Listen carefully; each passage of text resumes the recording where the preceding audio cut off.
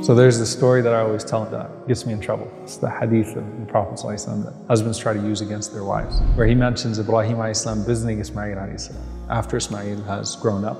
He's married. Ibrahim comes to the house of Ismail, and Ismail is not home. His wife answers. His wife does not know that this is her father in law, and her father in law does not tell her that he is her father in law. But she serves this noble looking old man, and Ibrahim says, how is your situation? Tell me about your situation. And all she does is talk about how horrible everything is. You know, it's terrible. We're living in hardship, poverty, you know, just complaints. And Ibrahim salam says to her that when your husband comes home, give my salam to him and tell him that he should change the door to his gate.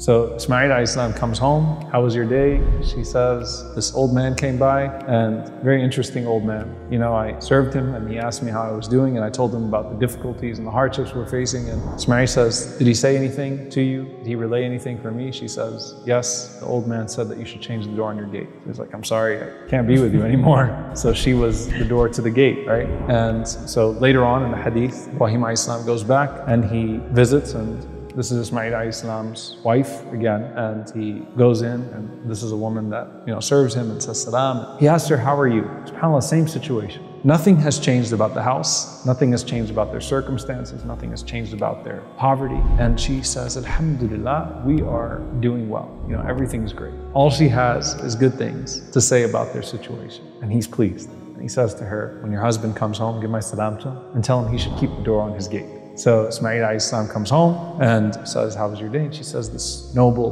beautiful old man came by today and I served him. And then he asked about our situation. I told him, Alhamdulillah, how our situation is. And Ismail says, Did he say anything to relate to me? And she said, Yeah, he said, When your husband comes home, give him salam and tell him to keep the door gate. He says, Alhamdulillah, I get to keep my wife. That's really what this boils down to. And I tell people, Ibrahim does not like people who complain. That's not the spirit that Ibrahim Islam left for us to inherit, right? People who complain, who whine about their situation. Now, the power of this, though, is that both of these women had the exact same situation, but saw life entirely different. So the Prophet ﷺ said, Look at those that have less than you, not those who have more than you. And with your blessings, look at the blessings you have, not the ones that you don't have. You know what's powerful? What's the first word you say when you wake up? All praises be to Allah. Alhamdulillah. If you open your eyes as a Muslim, you are to say, Alhamdulillah, right when you wake up. That's how you're tuned. All praises be to Allah who woke me up, who granted me life after and to him is our return. Like I did not even take for granted that I'm going to open my eyes to. And the fact that I open my eyes, the very first thing that I say, Alhamdulillah.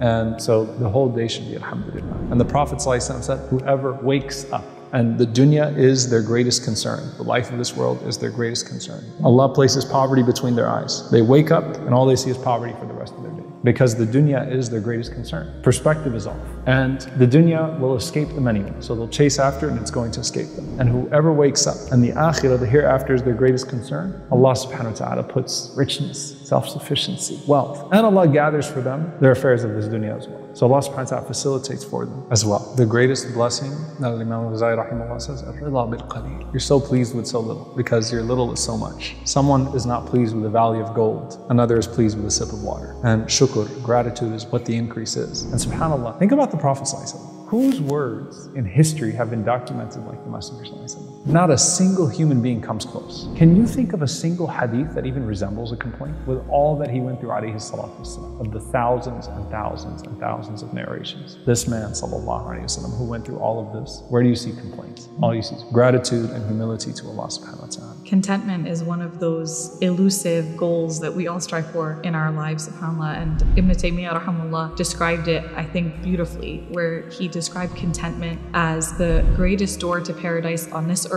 and also a door to Jannah, subhanAllah. And I think that that's such an apt description because anybody who's been dissatisfied, who struggles with feelings of dissatisfaction, you know how difficult that can feel, how negative that can feel, and how it almost feels like you're looking at your life through a cloudy lens lens where you only see the negatives. And so the opposite of being able to experience a life filled with contentment is so incredibly joyful. And so we all strive for that, both for the dunya benefit, the worldly benefit that comes with it psychologically, but then even more the spiritual benefit that comes with it. And Allah subhanahu wa ta'ala tells us that the reward of a person being content with Allah, content with their life, content with the decree of Allah subhanahu wa ta'ala is Jannah, right? Where we're welcomed into Jannah as a nafs al mutma'inna, the satisfied self. And that would not be a reward if it was beyond our control. And so, how do we hone this sense of contentment? The first thing that's so important to realize is number one, that it is within our control, is that actually only 10% of our happiness is based on our life circumstances. But we all tend to attribute our happiness to what's going on in our lives. Once I get that promotion, I'm going to be happy. Once I lose those 10 pounds, once I get married, once I have children, once I, once I, once I. And then once you reach that goal, you feel exactly the same. And you can feel hopeless. Like, is anything in my life ever going to be enough? And the answer to that is no, unless you make it enough.